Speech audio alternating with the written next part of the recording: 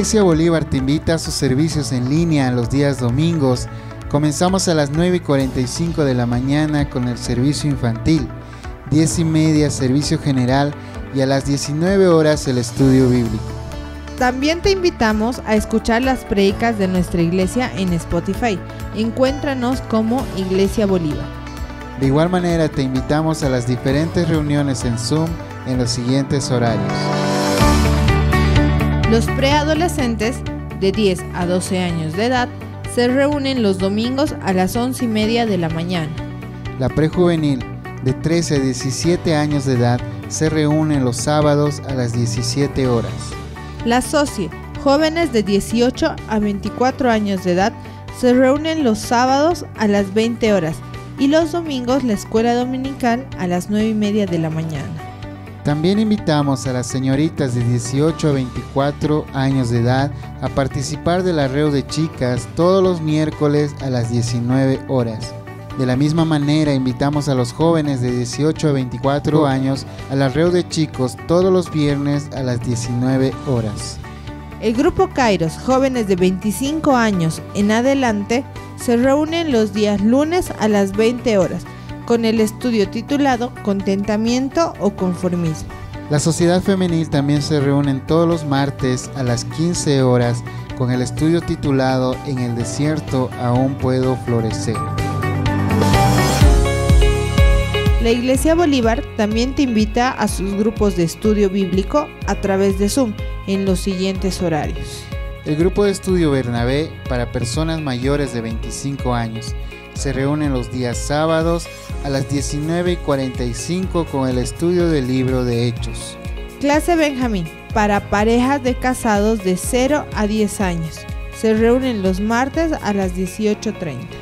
El grupo Judá para parejas de 10 años de casado en adelante se reúne los días viernes a las 19 horas con el estudio titulado Los cinco lenguajes del amor.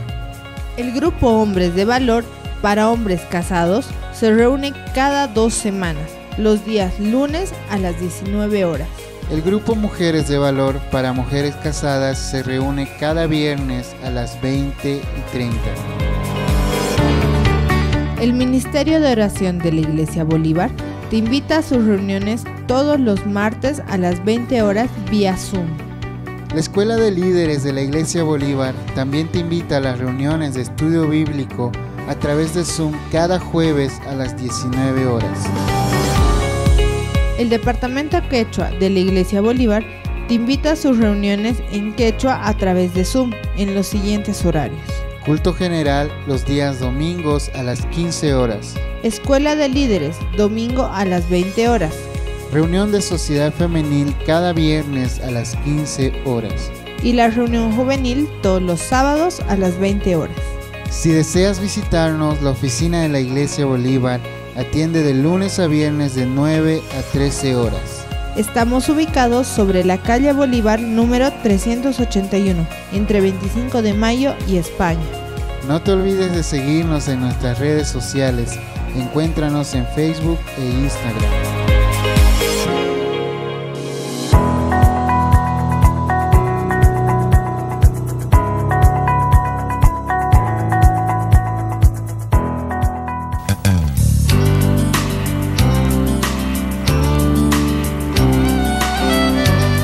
Esta noche continuamos con la segunda parte de la serie de estudio bíblico titulada El corazón y la disposición de un siervo. La lectura bíblica se encuentra en el primer libro de Samuel, capítulo 12, desde el versículo 3 hasta el 23. La palabra del Señor dice así, Aquí estoy, atestiguad contra mí delante de Jehová y delante de su ungido. Si he tomado el buey de alguno, si he tomado el asno de alguno, si he calumniado a alguien, si he agraviado a alguno, o si de alguien he tomado cohecho para cegar mis ojos con él, os lo restituiré. Entonces dijeron, Nunca nos has calumniado ni agraviado, ni has tomado algo de mano de ningún hombre. Y él les dijo, Jehová es testigo contra vosotros, y su ungido también es testigo en este día, que no habéis hallado cosa alguna en mi mano. Y ellos respondieron, Así es. Entonces Samuel dijo al pueblo, Jehová que designó a Moisés y Aarón y sacó a vuestros padres de la tierra de Egipto es testigo. Ahora pues, aguardad y contenderé con vosotros delante de Jehová acerca de todos los hechos de la salvación que Jehová ha hecho con vosotros y con vuestros padres. Cuando Jacob hubo entrado a Egipto y vuestros padres clamaron a Jehová, Jehová envió a Moisés y Aarón, los cuales sacaron a vuestros padres de Egipto y los hicieron habitar en este lugar. Y olvidaron a Jehová su Dios, y él los vendió en mano de Sísira, jefe del ejército de Azor, y en mano de los filisteos, y en mano del rey de Moab, los cuales les hicieron guerra. Y ellos clamaron a Jehová y dijeron, Hemos pecado, porque hemos dejado a Jehová y hemos servido a los Baales y a Astarot. Líbranos pues ahora de la mano de nuestros enemigos y te serviremos. Entonces Jehová envió a Jerobaal, a Barak, a Jefté y a Samuel, y os libró de mano de vuestros enemigos en derredor, y habitasteis seguro. Y habiendo visto que Naas, rey de los hijos de Amón, venía contra vosotros, me dijisteis, no, sino que ha de reinar sobre nosotros un rey, siendo así que Jehová vuestro Dios era vuestro rey. Ahora pues, he aquí el rey que habéis elegido, el cual pedisteis. Ya veis que Jehová ha puesto rey sobre vosotros. Si temiereis a Jehová y le sirviereis y oyereis su voz y no fuereis rebelde a la palabra de Jehová, y si tanto vosotros como el rey que reina sobre vosotros servís a Jehová vuestro Dios, haréis bien. Mas si no oyereis la voz de Jehová, y si fuereis rebelde a las palabras de Jehová, la mano de Jehová estará contra vosotros como estuvo contra vuestros padres. Esperad aún ahora y mirad esta gran cosa que Jehová hará delante de vuestros ojos. ¿No es ahora la siega del trigo? Yo clamaré a Jehová y él dará truenos y lluvias, para que conozcáis y veáis que es grande vuestra maldad que habéis hecho ante los ojos de Jehová, pidiendo para vosotros rey. Y Samuel clamó a Jehová, y Jehová dio truenos y lluvias en aquel día. Y todo el pueblo tuvo gran temor de Jehová y de Samuel. Entonces dijo todo el pueblo a Samuel, ruega por tus siervos a Jehová tu Dios, para que no muramos, porque a todos nuestros pecados hemos añadido este mal de pedir rey para nosotros. Y Samuel respondió al pueblo, no temáis, vosotros habéis hecho todo este mal, pero con todo eso no os apartéis de en pos de Jehová, sino servidle con todo vuestro corazón. No os apartéis en pos de vanidades que no aprovechan ni libran, porque son vanidades porque Jehová no desamparará a su pueblo por su grande nombre, porque Jehová ha querido haceros pueblo suyo. Así que lejos sea de mí que peque yo contra Jehová cesando de rogar por vosotros, antes os instruiré en el camino bueno y recto. Hasta aquí la lectura bíblica. Que el Señor bendiga su palabra leída en esta noche.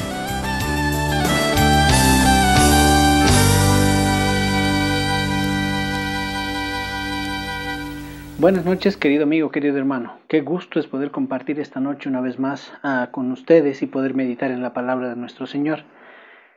Y quiero invitarle a dejar este tiempo en las manos del Señor con, conmigo. ¿Por qué no inclina su rostro y le dice conmigo al Señor, Señor, gracias por este tiempo que nos das de poder meditar en tu palabra. Señor, queremos que tú nos muestres aquello que tú has preparado para nosotros esta noche.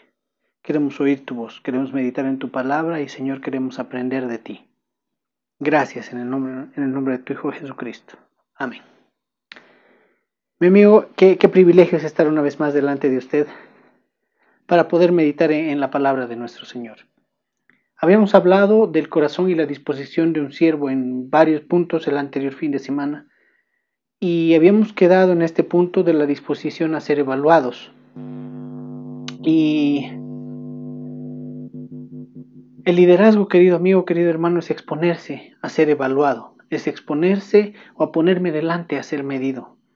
Eh, Jesucristo estuvo dispuesto, como les había mencionado eh, el anterior domingo, a ser evaluado delante de la gente y delante de sus discípulos cuando estaba realizando su ministerio. Y podemos pensar, hermanos, eh, en cuatro cositas dentro del punto de la disposición ah, que debemos tener como siervos a ser evaluados. Y el primero de ellos es la administración. Samuel le dijo al pueblo cuando estuvo delante de ellos, eh, si he tomado algo, si he tomado un buey, si he tomado un asno de alguno de ustedes, ustedes pueden atestiguar y pueden decirlo delante de todos aquí. Como siervos de Dios, eh, se nos ha encomendado a ser buenos administradores. Y necesitamos responder a Dios y al pueblo con toda transparencia, mi querido amigo, mi querido hermano. Eh, ¿Cuántos líderes hemos descuidado esta área sin darnos cuenta? ¿Cuántos líderes han, han, vivido sin ser evaluados en esta área de la administración? Eh, tenemos que tener en cuenta que, hermanos, en la función de ministerio estamos llamados a administrar recursos que no son nuestros. Estos recursos primeramente son del Señor, pero son recursos que muchos hermanos han generado con esfuerzo, con dedicación, para que la obra del Señor pueda ir adelante. Y, vale la pena ponernos a pensar que somos responsables delante del Señor de hacer buen uso de estos recursos para la obra y para el ministerio de nuestro Señor. Administramos recursos ajenos y, debemos ser responsables, debemos ser transparentes en el manejo de cada una de estas cosas. Eh, rápidamente quiero recordarle el pasaje de Mateo, el pasaje de la parábola de los talentos. El Señor le dio a cada uno de sus siervos aquello que el Señor pensó que podían administrar de buena manera. Hubieron buenos resultados, pero también hubo uno malo. Y mi anhelo, el anhelo de mi corazón es, así como estos dos siervos, poder escuchar la voz del Señor que me diga, bien buen siervo y fiel. Has administrado bien lo que te he dado. Has desarrollado un buen ministerio bien buen siervo y fiel. Pablo también fue muy claro cuando se dirigió a los corintios y les dijo, así pues, téngannos a los hombres por servidores de Cristo, de administradores de los ministerios de Dios. Y aquí nos habla a los siervos que estamos en función ah, de liderazgo y estamos administrando las, los, el ministerio, estamos administrando los, los bienes, los, los recursos de nuestros hermanos. Dice, ahora bien, ustedes, siervos, ministros, líderes, se requiere de ustedes como administradores que cada uno sea hallado fiel, que cada uno sea hallado transparente, que cada uno sea hallado correcto en la administración. Y, y, recuerdo que alguien alguna vez me dijo, una persona que que tiene un largo trayecto en el ministerio, que el Dios, y estoy seguro que nuestro Señor lo, ha utilizado dentro del ministerio y le ha dado mucha sabiduría. Él me dijo, cuando estés en la función de liderazgo, eh, administrando ofrendas, diezmos, eh, todo aquello que el Señor ha puesto para eh, el avance de su obra, hazte solamente tres preguntas o piensa en estas tres cosas. Primero, ¿se justifica el gasto que estás realizando? Segundo, ¿se eh, se ajusta este gasto al propósito de Dios y la prioridad de la iglesia en el momento. Y, sobre todo, recuerda, querido hermano, y esto es lo que él me dijo, recuerda que ese dinero que administras, a ti no te ha costado mucho generarlo, pero sí a tus hermanos. Les ha costado esfuerzo, les ha costado levantarse temprano, les ha costado trabajo. ¿Para qué? Simplemente para ser fieles con nuestro Señor. Y depende de ti en este momento el, ser un buen administrador de todos estos recursos para la obra de nuestro Señor. Estas tres cosas han estado muy presentes delante de, eh, del Señor en este tiempo de ministerio, querido amigo, querido hermano, porque han sido tiempos difíciles y delante del Señor eh, hemos tratado, o he tratado como líder de tomar, de aportar para que las decisiones sean las más correctas y las más transparentes delante de nuestro Señor. Segunda cosa que debemos pensar al momento de estar con un corazón dispuesto a ser evaluados es a ser evaluados en la conversación. Samuel les dijo, si ha calumniado a alguien, perdón, aquí estoy, atestiguen delante del Señor y delante de su ungido. Eh, el tema de nuestra conversación es muy determinante, queridos hermanos. La Biblia es clara y dice, de la abundancia del corazón habla la boca. ¿De qué estamos llenando nuestro corazón para que puedan salir palabras de edificación o palabras que destruyan nuestro ministerio, nuestro liderazgo y a nuestros hermanos? Necesitamos ser evaluados en esta área de, nuestra conversación. Eh, es triste encontrar a lo largo del camino eh, a líderes quienes han quitado de sus labios el freno, quienes han dado rienda, rienda suelta a su lengua sin sabiduría y han destruido hermanos, han destruido ministerios, simplemente por no ser prudentes al emitir una palabra. Y sabe que, querido hermano, la lengua destruye sin que nos demos cuenta. Y es un arma que a veces el enemigo utiliza para dañar la iglesia del Señor. Usted conoce el pasaje de Santiago 3. Y quiero recordarle el versículo 5 y el 6. Dice, así también la lengua es un miembro pequeño, pero se jacta de grandes cosas. He aquí cuán grande bosque enciende un fuego pequeño. Y la lengua es un fuego. Eh, es un mundo de maldad, la lengua está en un mundo de maldad, la lengua está puesta entre nuestros miembros y contamina todo el cuerpo e inflama la rueda de la creación y ella misma es inflamada por el infierno. Hermanos, ¿cuánto daño podemos causar por no saber manejar con prudencia este pequeño órgano que se llama lengua? Renuevo de plenitud de la disposición implica ser evaluados, hermanos, en nuestra conversación. Otro punto que, vale la pena pensar en el corazón dispuesto a ser evaluado son nuestras relaciones. Samuel les dijo, si he dañado a alguien, si he agraviado a alguien, aquí estoy, háganmelo saber. Agraviar es engañar o defraudar. Podemos como siervos usar este ministerio para engañar, defraudar, para dañar a la gente, a nuestros hermanos dentro de la iglesia. Pero vamos a estar un día, hermanos, expuestos a la luz de nuestro Señor. Y vamos a tener que responder por este daño que hemos hecho. Necesitamos estar expuestos a ser evaluados en nuestras relaciones, en nuestras relaciones con los pastores, con los compañeros líderes en el ministerio, con los hermanos a los cuales estamos guiando en nuestro ministerio. Necesitamos estar dispuestos a ser evaluados en nuestras relaciones. Nuestro Dios eh, es un Dios de relaciones, mi querido amigo, mi querido hermano. Él desea que sus siervos sean siervos que manejen y administren bien sus relaciones. Y uno de los puntos que debemos revisar en este, en este aspecto es nuestras relaciones con nuestros hermanos del sexo opuesto, como varones con las hermanas de la iglesia, como mujeres con nuestros hermanos en la iglesia. Estás dispuesto, estar dispuestos a ser evaluados en nuestras relaciones con el, con el sexo opuesto. Lastimosamente, durante el transcurso de los años hemos visto a ministros, hemos visto a líderes que no han tenido esta disposición a estar, a ser evaluados en sus relaciones con, hermanos del sexo opuesto y hemos visto grandes líderes caer a causa de esto.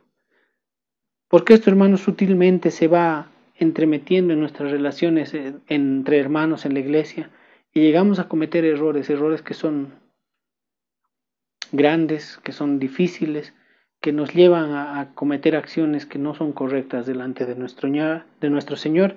Así que, eh, hermanos, eh, tenemos que cuidar este aspecto muy fuerte, que es la relación con nuestros hermanos del sexo opuesto. Como les decía, es muy sutil, a veces una sonrisa, una mirada, una palabra, va desarrollando una relación que no es muy correcta delante del Señor. Y hermanos, quiero recalcar una vez más esto. Debemos aprender a cuidar nuestras relaciones dentro de la iglesia. Y, es bueno tener compañeros, amigos del ministerio, hermanos, que nos puedan llamar la atención o hacernos notar, tocar esa campanita de alerta y decirnos, hermano, un cachito, algo está pasando, algo no veo correcto en esto. Y nosotros tener el corazón dispuesto abierto a escuchar y decir, Señor, ¿qué es lo que quieres que haga con respecto a esto? El cuarto punto que tenemos que ver con un corazón dispuesto a ser evaluado es la omisión. ¿La omisión en qué sentido? La omisión en el sentido que Samuel les dijo, si de alguien he tomado dádivas para cegar mis ojos, digan hermanos, si he cometido este error, Ojalá, hermanos, que jamás se encuentre en la evaluación de nuestra vida el hacer la vista ciega a pecados de personas por el simple hecho de recibir una ayuda monetaria de ellos. Sé que suena fuerte lo que le estoy diciendo. Sé que a veces ah, estas cosas son, son difíciles de afrontar dentro de nuestra iglesia. Y sabe qué, hermano, debemos darle gracias a Dios porque gracias a Él no hemos tenido estos casos en nuestra iglesia.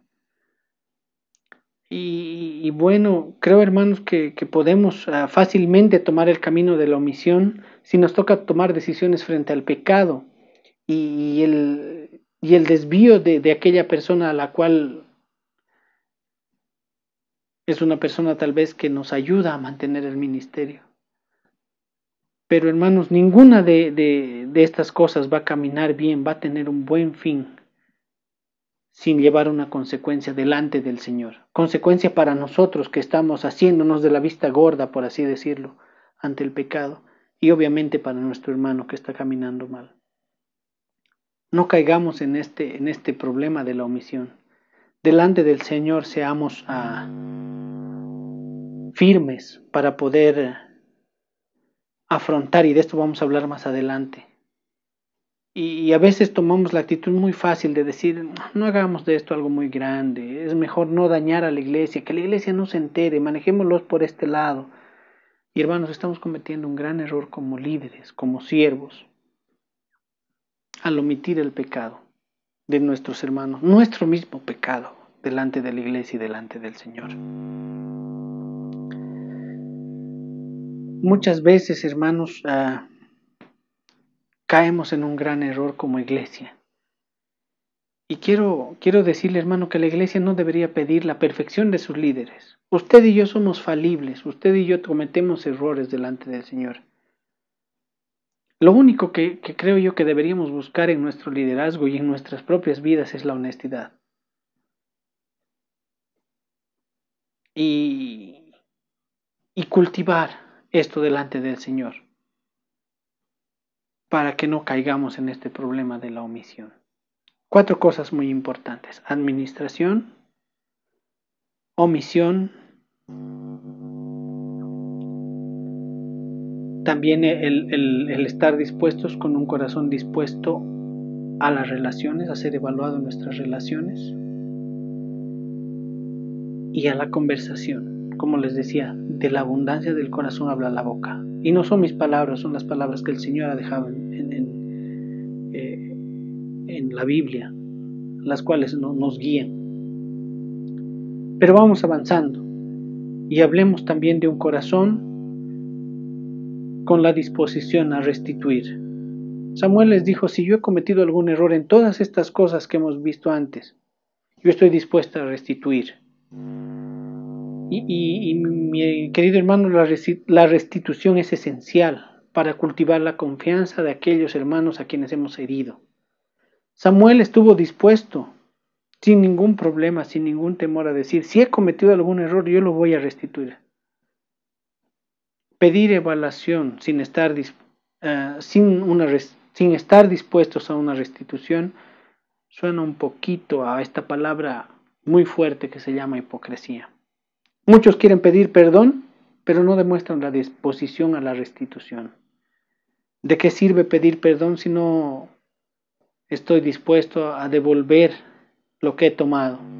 ¿De qué sirve eh, pedir perdón si no estoy dispuesto a colocar todo mi esfuerzo para poner en su lugar lo que he dañado, lo que he destruido?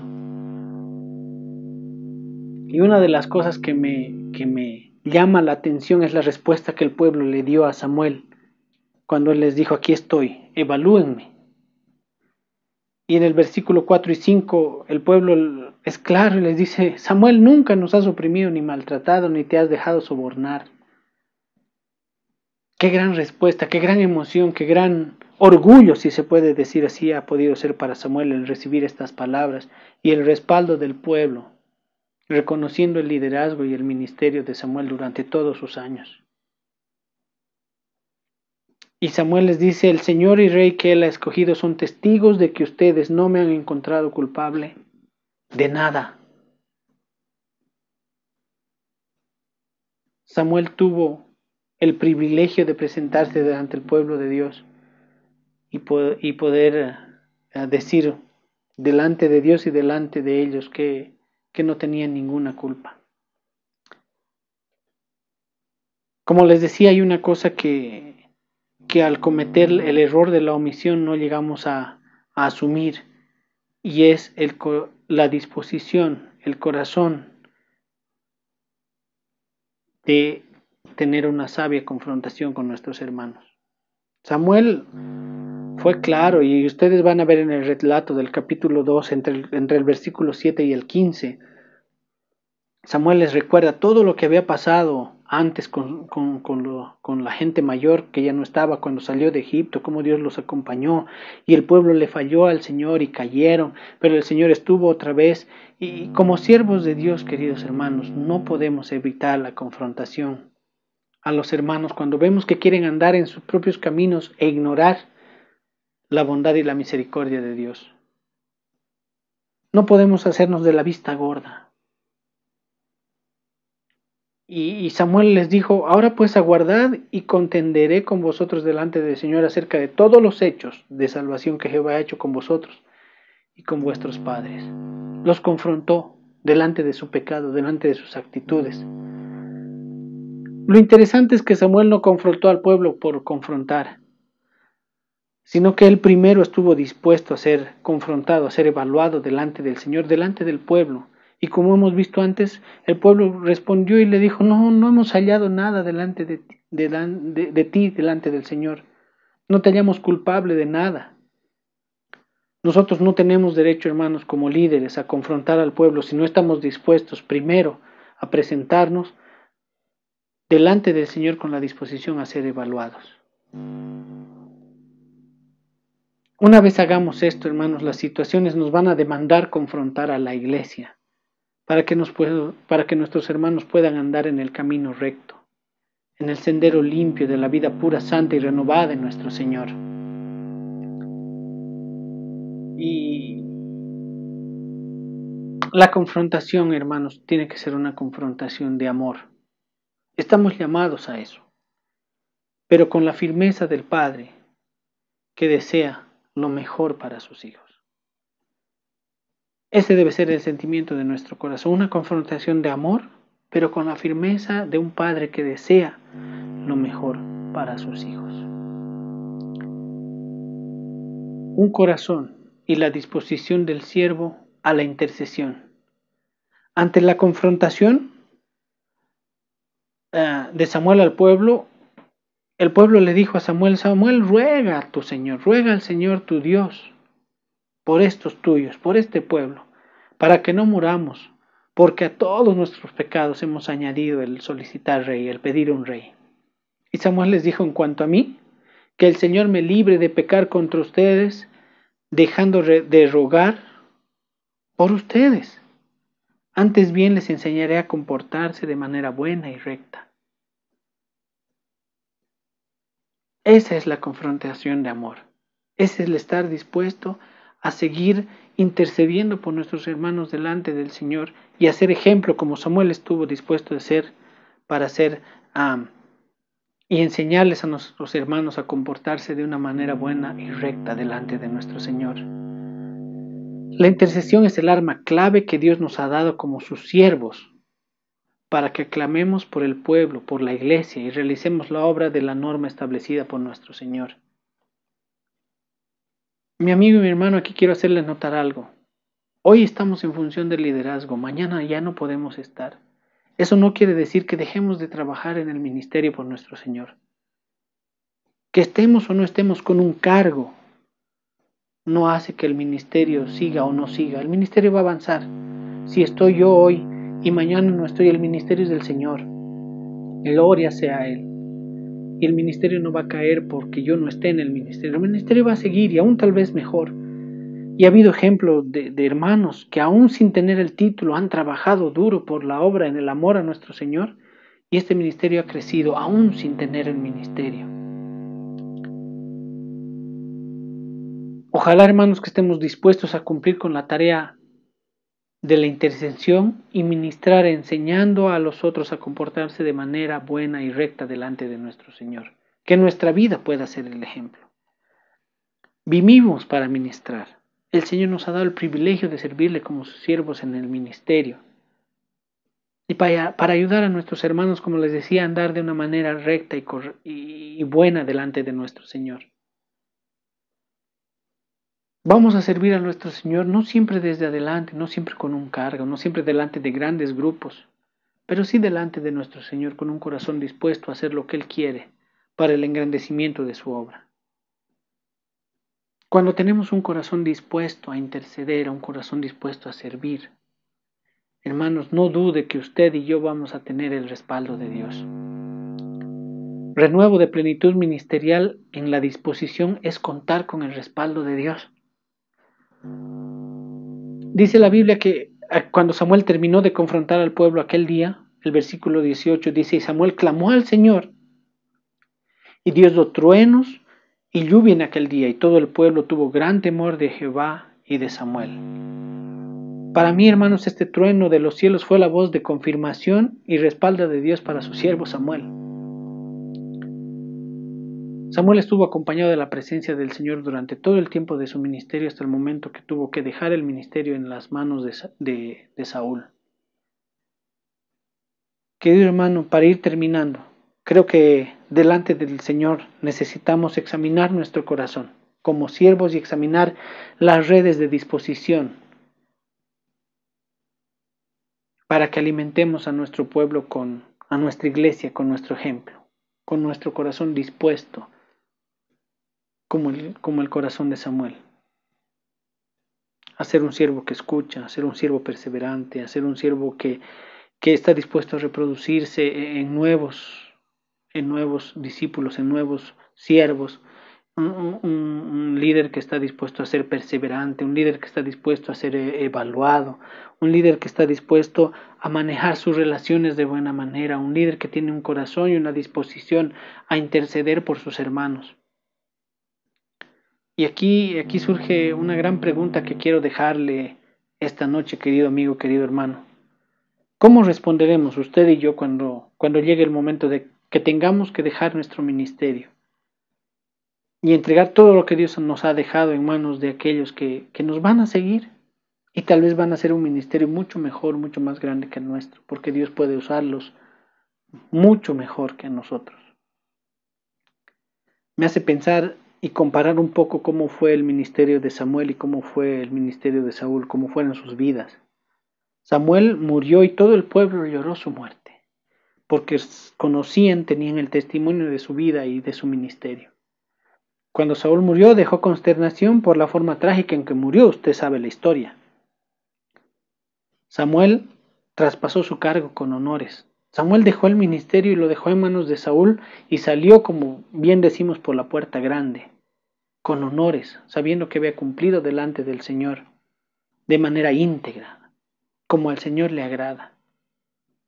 Comparándolo a Saúl, Saúl se aferró al cargo, persiguió a David, usted conoce la historia, porque no estaba dispuesto a dejar el, el cargo en las manos de David como nuevo rey. ¿Cómo vamos a estar? ¿Cómo vamos a responder a nuestro Señor aquel día? En que digamos como, como Samuel, ya estoy viejo, lleno de canas. Ojalá que podamos decir, quedan mis hijos espirituales. Ellos se van a hacer cargo del ministerio, mucho mejor que yo. ¿Será que usted y yo vamos a poder decir lo mismo que, que dijo Samuel? Tres preguntas para pensar a modo de terminar. ¿Estoy dispuesto a traspasar mi cargo con honor? ¿O estoy, o estoy dispuesto, o acaso estoy aferrado a mi cargo y persiguiendo para que nadie tome mi lugar en el, en el ministerio? ¿Cómo está mi corazón? ¿Cómo estoy delante del Señor? Segunda pregunta, ¿está mi corazón dispuesto realmente a ser observado y a ser evaluado y a ser enseñado por el Señor?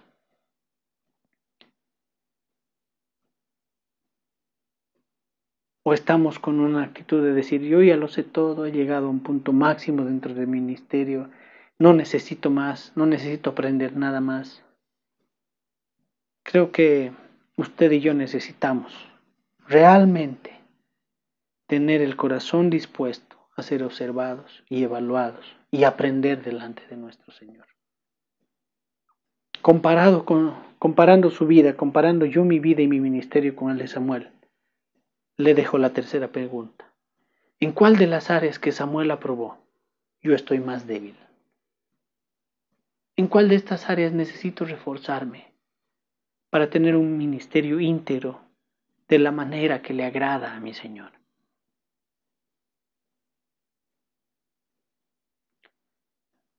Hemos hablado dos domingos del corazón y la disposición de un siervo. Y creo, hermanos, que podemos ah, quedarnos con esto delante de nuestro Señor, que, que podemos evaluarnos delante de Él. Y como le decía al inicio, ojalá que el anhelo de su corazón sea el mismo anhelo que yo tengo. Que cuando me presente delante del Señor, cuando Él me pida cuentas del ministerio que yo he estado realizando, para su obra, para el engrandecimiento de su palabra, para lograr alcanzar más vidas y que muchas más vidas tengan vida eterna en nuestro Señor. Ojalá mi anhelo es que el Señor me diga, bien buen siervo y fiel. Sobre poco has sido fiel, sobre mucho te pondré. Entra en el gozo de tu Señor. Démosle gracias a nuestro Señor. Querido Señor, estamos muy agradecidos por este tiempo que nos has permitido de meditar en tu palabra. Te damos gracias porque tú nos confrontas, porque Señor tú nos convences de errores y pecados, pero al mismo tiempo por tu gracia y por tu amor nos das la oportunidad de volver atrás y de corregirnos. Te damos gracias Señor porque eres un Dios de amor y de misericordia. Te damos gracias porque podemos encontrar en ti la respuesta a nuestros errores dentro del ministerio y poder corregir el camino. Te doy gracias por mis hermanos que nos han acompañado en, en esta noche y han podido escuchar de tu palabra. Señor, te pido que así como has tocado mi corazón, puedas tocar sus corazones y hacerles notar los errores que hemos estado cometiendo. Que Señor nos des la convicción y el corazón primero de servirte a ti de buscarte a ti para desarrollar un ministerio como a ti te agrada. Gracias por el privilegio que nos das de poder servirte. Gracias por el privilegio que nos das de poder meditar en tu palabra.